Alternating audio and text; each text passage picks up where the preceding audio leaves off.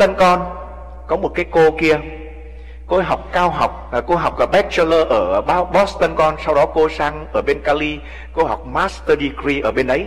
Thì khi học ở bên đấy thì cô ta quen một anh công giáo mà lấy người Việt Nam mà công giáo lấy công giáo là mừng lắm. Bởi vì sao?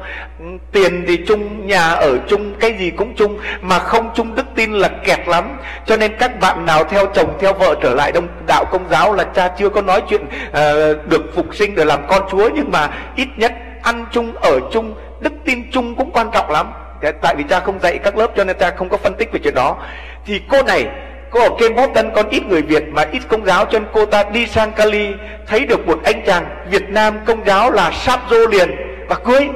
Đến khi cưới thì cô ta là gốc Nam con người Bắc cho nên con xấu người nói xấu người Bắc con không sợ có tội. À, bởi, bởi vì không ai ném đá con đừng vì con gốc Bắc. Mà cô ta làm dâu ngay nhà người gốc Bắc Kỳ mà Bắc Kỳ thì lạnh chua tôi luật lệ nhiều lắm. Ôi rồi ôi luật lệ nhiều lắm mà cô này dân miền Nam. Thì nhà cô này mới về làm dâu và bị được dỗ lần đầu. Cho nên mẹ mẹ chồng lại bảo, con dâu con dâu ra khu chợ phúc lộc thọ mua trái bồng, trái bưởi về để ăn dỗ. Mà trái bồng, trái bưởi khi người ta ăn là trắng miệng thì nó làm sao?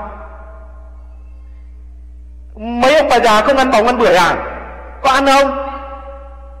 Sao ở tích xịt này hiền vậy? Đừng có nghĩ xấu. Cha con nói cái nghĩ tích cực là ăn bòng ăn bưởi nó có chất gọi là giảm cholesterol đúng không? Nó tốt mà, cho con thấy người già trên Boston con mỗi ngày, mỗi tuần họ ăn hai cái bòng, hai cái bưởi để cho nó giảm cholesterol mà. Thì bà này có lẽ mời khách đến ăn, cho nên nhờ con dâu đi ra chợ mua bòng mua bưởi về. Mà mua xong thì cô về, cô gọt, cô cầm cái dao, cô cứ gọt như này này. Ở Việt Nam mình thì gọt ngược lại đúng không? Mình gọt ra như vậy đúng không? Còn sang Mỹ này thì cái ai mà đi học ở trường Mỹ thì họ bảo làm sao mình gọt gọt vào như vậy? Tại sao gọt như vậy? Để làm sao mấy chị ca đoàn? À cái đấy là một cái tốt. Nhưng mà còn một cái tốt hơn nữa là Việt Nam ta là tao gọt dao ra ngoài mà đứa nào vào thì tao đánh cho mày một cái à, còn đây mình có gọt vào thì mình quánh mình thôi không có làm hại người khác đúng không? Cho ngay trong những cái nhỏ nhỏ về văn hóa người ta cũng để ý mình có làm thương tổn làm thương tổn mình chứ không làm thương tổn người khác. Mà cô ta thì học ở trường Mỹ lớn lên ở Mỹ cho nên gọt vô bà mẹ ngứa mắt bà mẹ chồng gốc Bắc Kỳ ngứa mắt. Đồ cái con nhà không có học cả mẹ mày không dạy mày gọt bằng gọt bưởi à gọt ngứa mắt thế. Không có học cả sao mà ngứa mắt thế? Thế là cô ta dân học master degree mà đâu có phải vừa đâu, vậy mà vẫn bị la là không học. Thế là cô ta sụt xịt bỏ vào trong phòng gọi điện cho mẹ mình. Mà bà mẹ của cô ta là người tâm sự với con. Bà mẹ đấy là giáo sư dạy văn chương trước năm 75 ở Sài Gòn, trường đại học văn khoa Sài Gòn. Giáo sư dạy Việt văn dạy văn chương, mà bây giờ con mình cũng có bằng master degree, mà lại là giáo sư dạy văn chương mà bị bà thông ra và suy ra la là đồ ờ, không biết dạy con thì thưa các bà trong nhà thờ này, nếu mình có con mình đi làm dâu nhà người ta mà bị bà suy ra la như vậy và thông ra la như vậy thì tính sao đây? Tính sao nào? Mấy chị ca đoàn tính sao nào? Sao cái anh phất nhịp nói sao? Chặt là sao anh em chưa hiểu?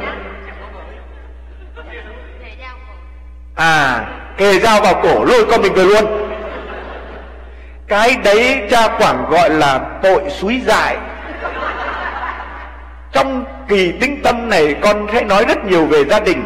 Chúng ta chỉ có được suối tốt chứ không được suối dại. À, bà này là giáo sư dạy ờ, văn chương trước năm 75 bà cũng kiến thức uyên thâm và bà là người giáo bà đoàn hoàng tử tế. Nhưng mà bà nói câu như thế này cộng đoàn nghĩ có được không? Con đừng có lo, con đã xin lỗi bà, mẹ chồng ngay lập tức. Mẹ cũng la, chị dâu, em dâu, con y chang như vậy.